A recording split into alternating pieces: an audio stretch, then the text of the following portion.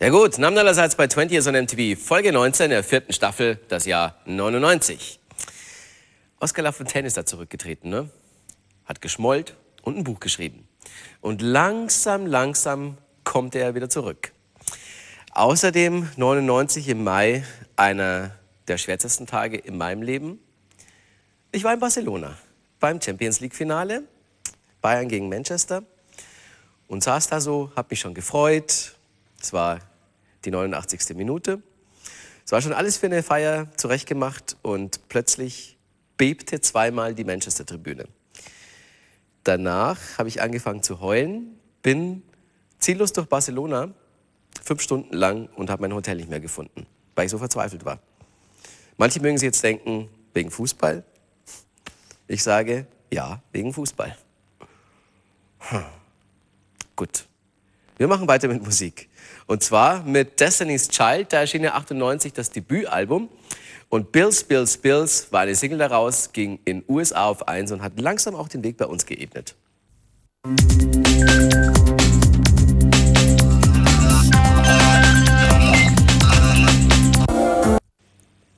Das waren die Eurythmics mit I Saved the World Today von ihrem Reunion-Album Peace. Jetzt gibt es eine kleine Pause und danach mehr Songs, an die man sich erinnern sollte, aus dem Jahr 99.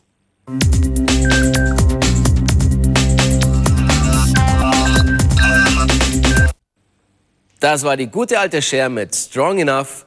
Sie war ja fett im Geschäft in dem Jahr, ne? 98, Belief, kam ja ein bisschen vorher raus und jeder dachte sich, die macht Musik bis sie 100 ist. Wenn sie die richtigen Produzenten hat, die ein bisschen an ihrer Stimme rumschrauben.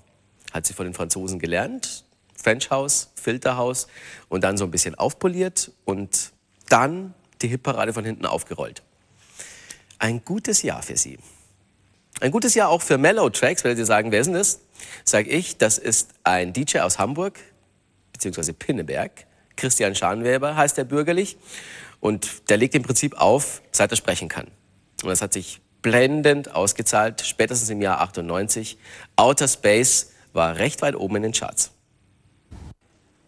Das war Will Smith mit Wild Wild West. Eigentlich wird ja alles zu Gold, was er anfasst, ne?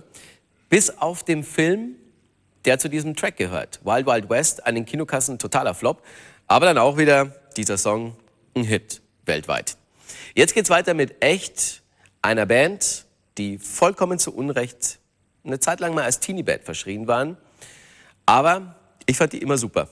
Songs selbst geschrieben, die Typen selbst auch spitze.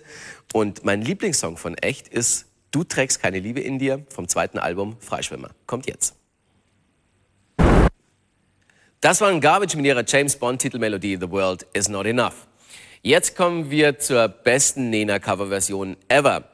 Jan Delay hat für den Sampler Pop 2000 eine Reggae Dub Pop Version von irgendwie, irgendwo, irgendwann gemacht und die ist so großartig, müssen wir unbedingt spielen. Ihr wisst, Nena hat ja zusammen mit Kim Wilde das gleiche Stück nochmal gecovert. Auch nicht schlecht geworden. Aber hier kommt Jan Delay.